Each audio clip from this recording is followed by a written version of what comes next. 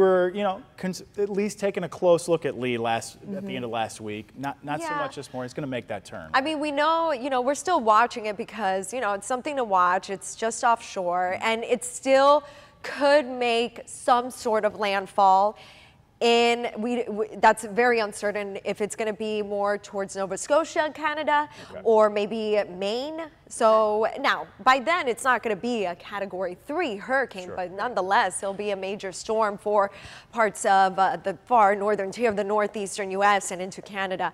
So yes, and Bermuda, also, Bermuda is going to see some impacts uh, with Lee. Now, Lee's eye has shrunken, and so it looks like it's hitting some wind shear. You can kind of tell on the northwestern quadrant that Lee is hitting some wind shear because uh, those outer bands are feathering out. There's possibly some dry air too, as also uh, you can tell there aren't that many thunderstorms on, in the northwestern quadrant of Lee.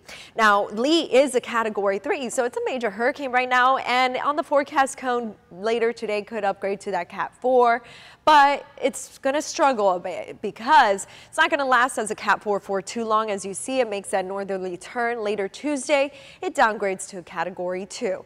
So Lee, you know, for us, thankfully, staying well away from Florida, away from the Bahamas, any impacts that we get indirectly will be along the coast. Coastal areas will see some higher swells or higher surf, swells out there on the water, and obviously some dangerous rip current risk along the eastern seaboard.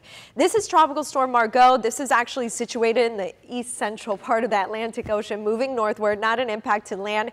We got two other waves that could develop. The way that will eventually move in the area of Orange could become the next tropical depression by the weekend.